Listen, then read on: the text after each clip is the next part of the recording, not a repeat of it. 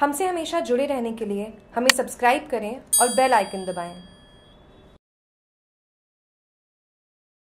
उदयपुर शहर में गणेश चतुर्थी के अवसर पर अलग अलग जगहों पर विशेष रूप से पंडाल बनाकर भगवान श्री गणेश की मूर्तियों की स्थापना की जाती है और 10 दिनों तक विशेष पूजा अर्चना के बाद विसर्जन किया जाता है इसी को लेकर मूर्ति बनाने वाले कलाकार आज उदयपुर मूर्तियों को तैयार करने को लेकर अंतिम रूप देते दिखाई दिए छोटी से लेकर बड़ी गणेश जी की मूर्तियों को तैयार किया जा रहा है और इन मूर्तियों को गणेश मंडल के कार्यकर्ता अपने अपने पंडालों में स्थापित करेंगे। हालाँकि इस बार जिला प्रशासन ने मिट्टी की मूर्तियों के विसर्जन पर भी रोक लगा दी है।